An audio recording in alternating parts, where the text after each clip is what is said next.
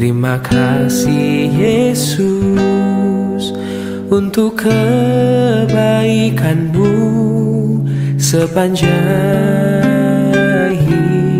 hidupku. Terima kasih Tuhan untuk kasih setiamu yang ku alami dalam Terima kasih Yesus untuk kebaikanmu. Sepanjang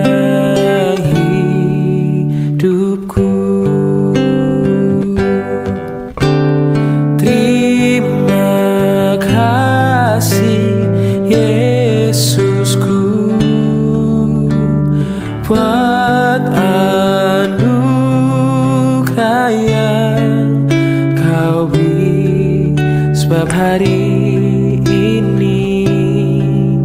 Tuhan adakan syukur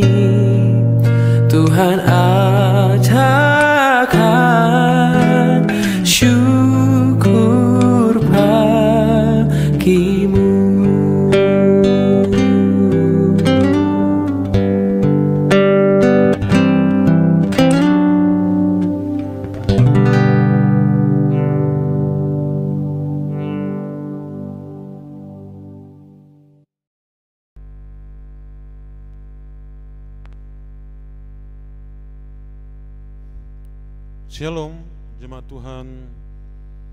Selamat pagi untuk kita semua. Kembali kita datang kepada Tuhan melalui doa pagi kita hari ini. Mari kita berdoa.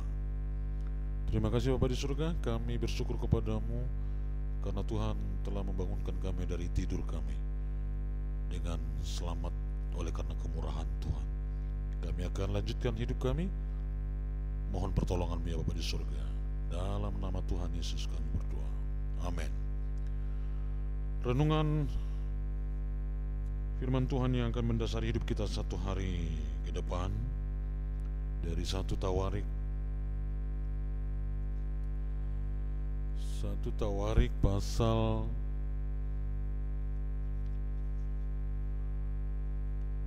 maaf. Dari ratapan pasal 3 ayat 21 sampai 26. Ratapan pasal 3 ayat 21 sampai ayat 26.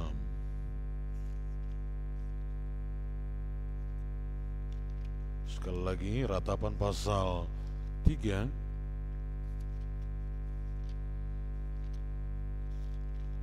ayat 21 sampai 26 demikian firman Tuhan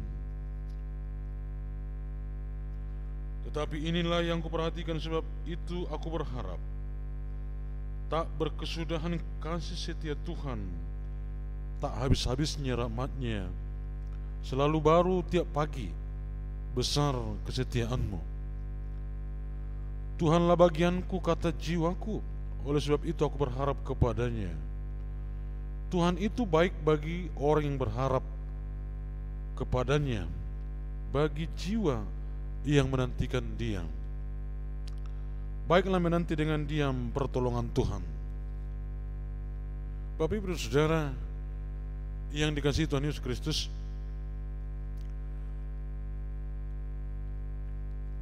hari lepas hari yang kita lalui tentu ada banyak berkat yang kita terima dari Tuhan. Ada hal baru yang dapat kita terima dari Tuhan. Tidak ada satu hari pun yang sama dengan hari yang lainnya. Selalu berbeda Tuhan buat. Terkadang cuaca hujan, terkadang terang benderang. Demikianlah Tuhan merawat umatnya, memberkati umatnya. Jadi berkat Tuhan itu jangan dipandang melulu dalam bentuk materi dan sebagainya. Tetapi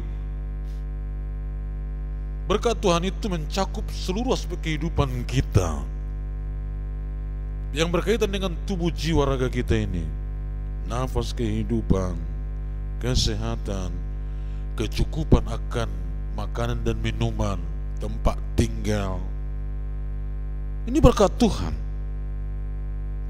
Dan selalu Tuhan sediakan hal yang baru dalam kehidupan kita. Tetapi oleh karena kita selalu berfokus kepada satu hal dalam kehidupan kita ini, semua kita lihat biasa saja. Tetapi bagi orang yang percaya kepada Tuhan Yesus, orang yang memiliki keyakinan kepada Tuhan Allah dengan baik dan benar, maka dia akan terus mengaku bahwa berkat Tuhan itu selalu baru setiap hari. Karena apa? Di tangan Tuhan itu tidak pernah kehabisan berkat. Dia tidak pernah berkekurangan untuk mencukupi kebutuhan umatnya. Tetapi bagaimana mungkin kalau tercukupi semua berkat bagi umat manusia ciptaannya ini? Mengapa ada orang berkekurangan? Itu semua oleh karena tatanan kehidupan yang telah rusak, ada keserakahan di dalamnya, ya, ada penindasan, ada korupsi, ada yang mengambil yang bukan bagian miliknya, dan lain sebagainya. Tetapi berkat Tuhan bagi seluruh makhluk ciptaannya selalu tersedia, terutama kepada kita sebagai orang percaya. Berkat bukan hanya bagian dari makanan dan minuman saja, tetapi berkat itu akan kita nikmati secara utuh dari Tuhan pada saat kita bangun dari tidur. Ternyata kita sudah berada di hari yang baru, pagi baru. Bukankah itu adalah berkat baru dari Tuhan? Tidak ada yang sama dalam perhitungan hari bahwa setiap pagi itu sama. Tetapi Tuhan buat itu selalu berbeda.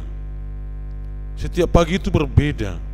Maka ketika kita menjumpai di pagi hari yang baru, secara otomatis kita telah menerima berkat Tuhan yang baru. Tapi ingat, hanya orang yang rendah hati, hanya orang yang mau menerima firman Tuhanlah dengan hati yang terbuka. Hanya orang yang tulus, hanya orang yang yakin sepenuhnya kepada Tuhan yang dapat mengaku bahwa satu pagi itu adalah berkat Tuhan yang baru bagi kita. Tuhan Yesus memberkati. Mari kita berdoa. Namun sebelumnya kita puji Tuhan dari pujian kepada sebagaimana ku ada.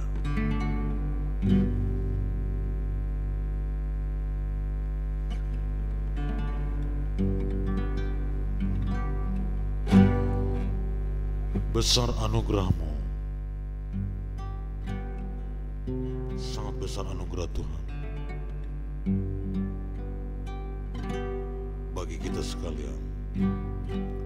Ku ada sebagaimana ku ada. Berdiri menghadap tatamu Bapa Semua karena anugerahmu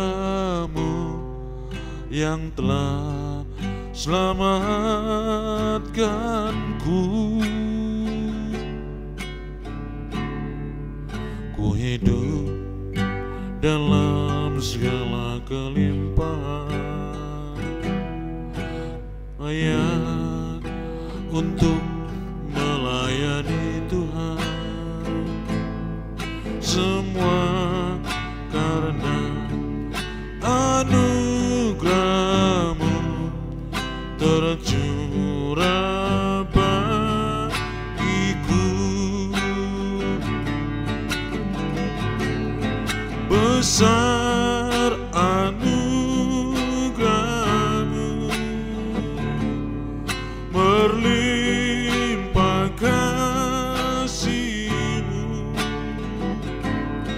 semakin hari semakin bertambah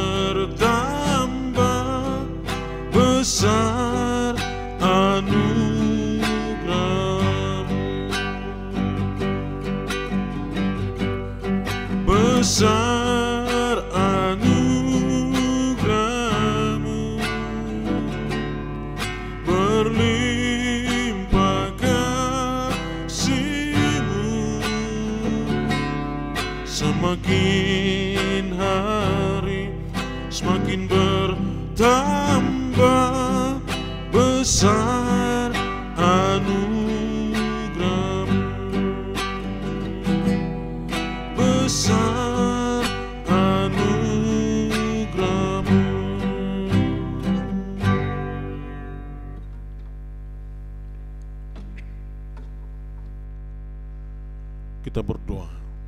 Tuhan Allah Bapa kami yang di surga Kami puji dan memuliakan namamu.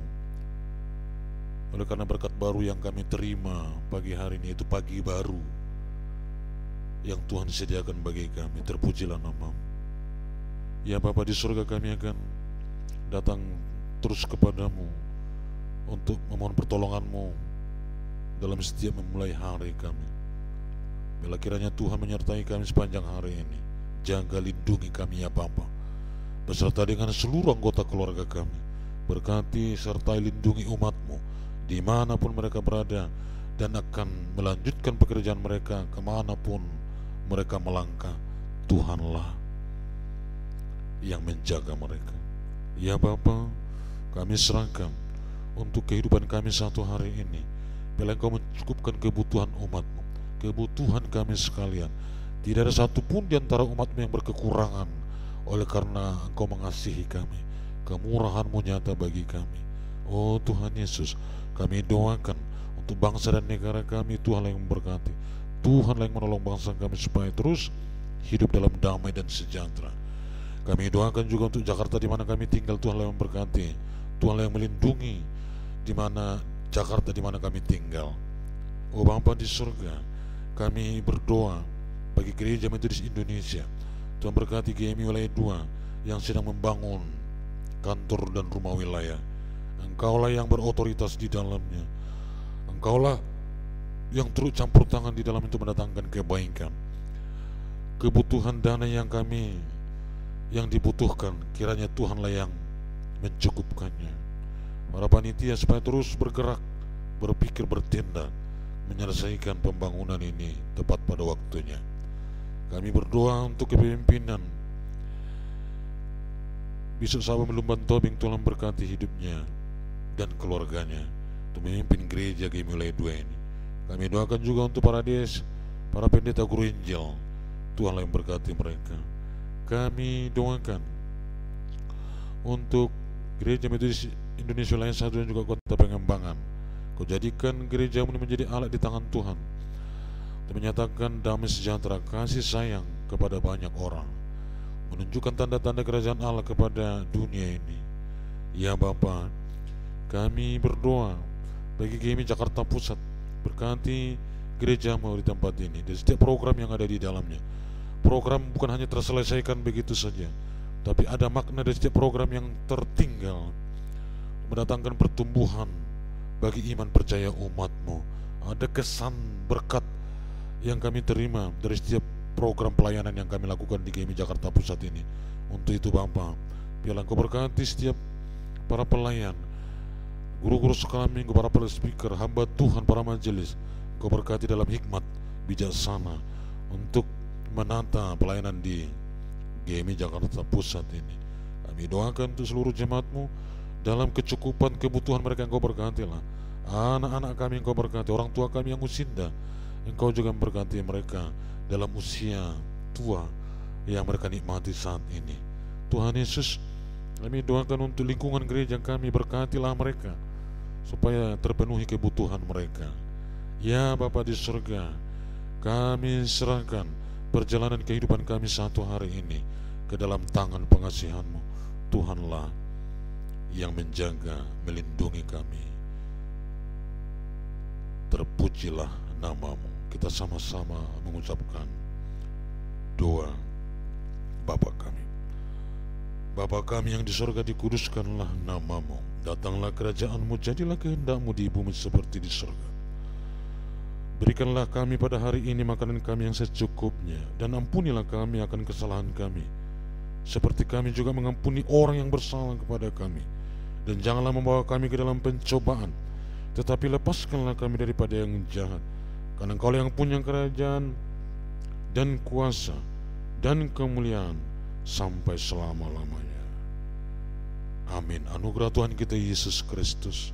Kasih Allah Bapa dalam persekutuan dengan roh kudus.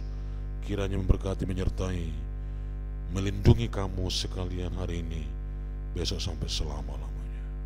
Amin. Shalom untuk kita semua. Selamat memulai pekerjaan. Tetap